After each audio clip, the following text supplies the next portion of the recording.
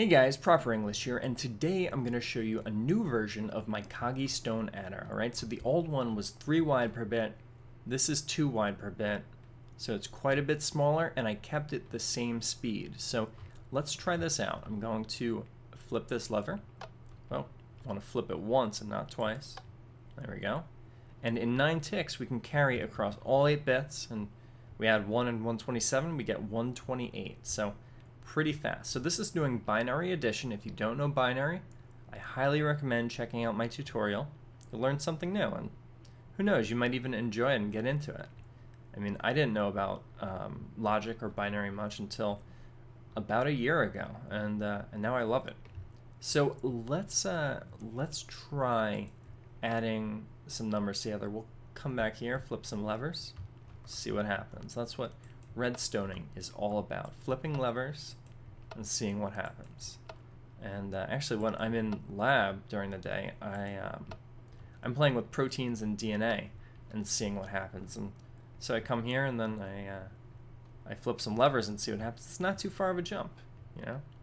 And uh, and yeah, so let's do 16. We'll put eight on.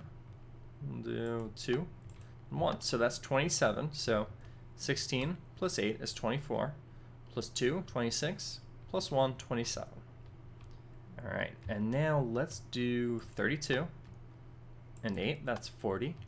Then we'll do 1, and that is 41. So 27 plus 41, come over here, well, we get 64, and we get 4, so that's 68. So 64 bits on, 4 bits on, 68. And there you go, it works beautiful. And so, um, so yeah, there were two reasons that I decided that I wanted to build this thing.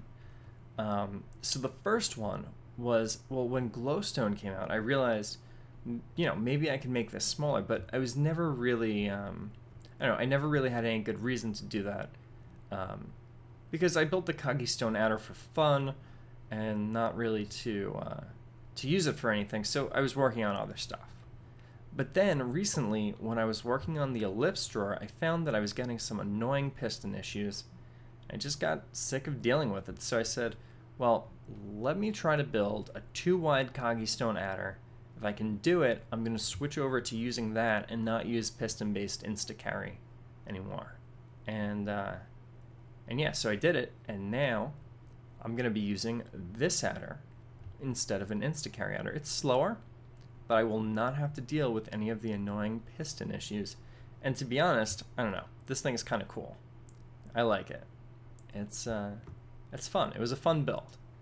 And uh, and yeah, so you're also getting a little glimpse of the texture pack that I'm working on. Um, and uh, and yeah, so I'll show you more of that next time. But for now, thanks for watching, and I'll see you guys next time.